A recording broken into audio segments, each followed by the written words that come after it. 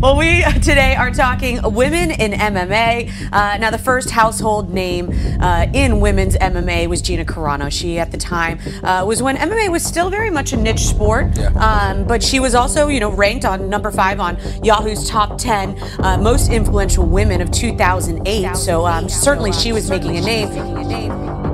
In 2008, Ronda Rousey became only the second American ever to win an Olympic medal in women's judo. judo. In 2010, she transitioned to mixed martial arts. The first ever, first ever UFC, UFC women's, women's champion, champion Ronda, Rousey. Ronda Rousey.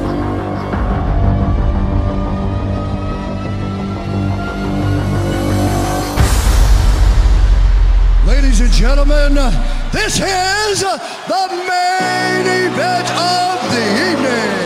Guys, I have goosebumps. This is going to be a quality fight in the bantamweight women's division. This really this is. really is.